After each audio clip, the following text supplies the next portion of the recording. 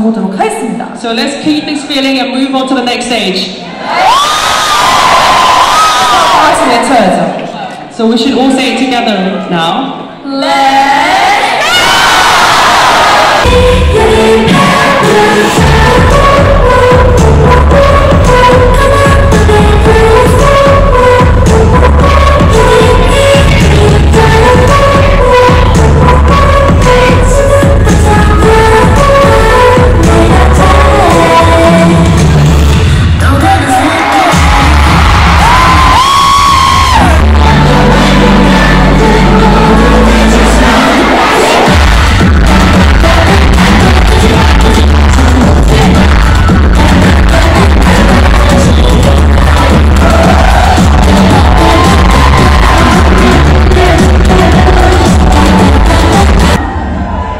보니까 태어나서 한 번도 거짓말을 해본 적이 없대요. 네, 저는 제 이름처럼 너무 진솔해가지고 한 번도 살면서 거짓말을 한 적이 없어요.